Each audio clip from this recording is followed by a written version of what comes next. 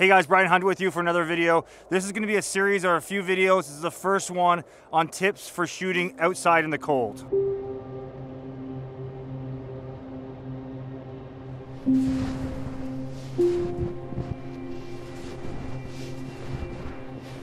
So it's about minus 10 right now, minus 10 Celsius for you people in Canada, for you guys in the US. Fahrenheit, I don't know Fahrenheit, so minus 10 Celsius sounds even colder to you guys. I shoot outside in the cold in winter in Canada quite a bit. A lot of my work, I'd probably say 80% of my work is outdoors. A lot of tourism stuff, a lot of sporting things. And in the wintertime in Canada, it's cold. So I spend a lot of times outside on days like today when it's very cold and it's very challenging. And over, you know, these 15 years of me doing this, I've figured out some tips and tricks on one, how to stay warm when you're out there shooting and the kind of best equipment to wear or the best clothing to wear and options to have, and also for keeping your equipment safe and keeping your equipment warm. So this first video is all about keeping yourself warm and keeping yourself comfortable and being functional so you can actually create some great cinematic stuff.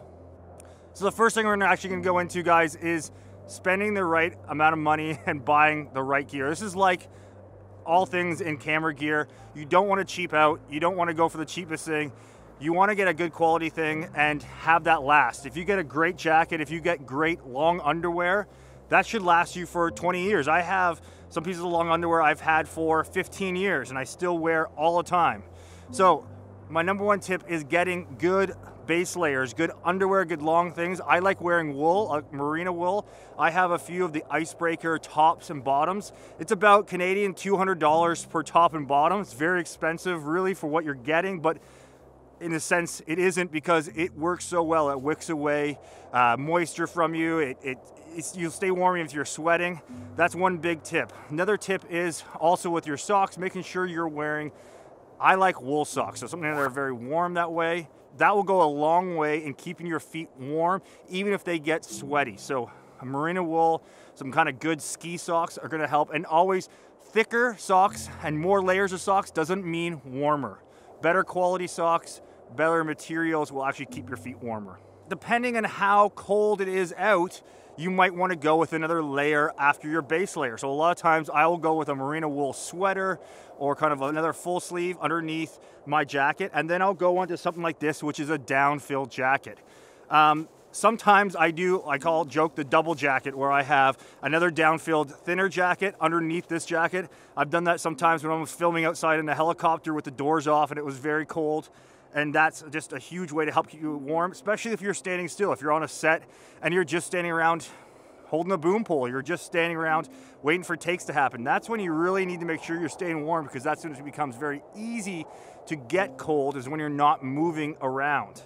So again, the next key thing is a jacket. I have a few different jackets and a few different options that I have depending on the weather. And a lot of times I will bring little different jackets with me depending on what I'm doing. If I'm hiking into a location to shoot, I might be wearing a thinner jacket so I'm not overheating and sweating. And then when I get to location, if I'm standing and I'm shooting something, I might be putting on the, the heavier jacket to keep myself warm. That's a great tip to just, you know, make sure you can have layers that you can take on and off easily. I'm out here up in Sault Ste. Marie, or just outside Sault Ste. Marie, Ontario, a little bit northern Ontario. And um, doing a little bit of backcountry skiing and uh, shooting of this stuff up here, some touring. Um, I want to show you guys a little bit what I wore to get in here. So I had basically just uh, an icebreaker um, sweater on and underground garment or first layer. That was to, uh, because I got so hot coming in when we we're, it was about a two and a half kilometer ski in. And then I had this down Arc'teryx jacket in my backpack put that on. That's what's keeping me warm while I'm waiting. I am wet here. I'm sweated through my shirt, and undershirt, but the great thing with merino wool is it will still keep you warm even when you're wet. I have a shell that I can put on if it's really snowing or it's kind of a wet snow.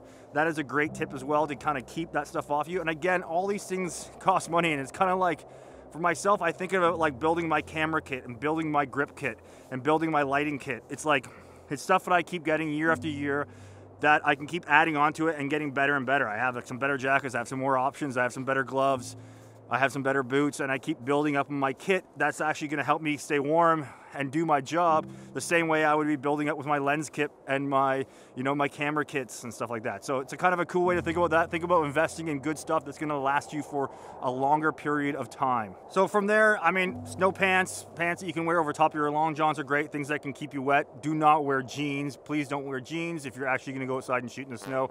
If you wanna lay down on the ground, if you wanna lay down some ice and get some different shots that way, if you wanna sit down on something that's freezing cold, it's gonna help to have a material in pants that are gonna be wicking away water, similar kind of material you're gonna have in your jacket. And a lot of these pants will be lined as well. That's a big tip as well.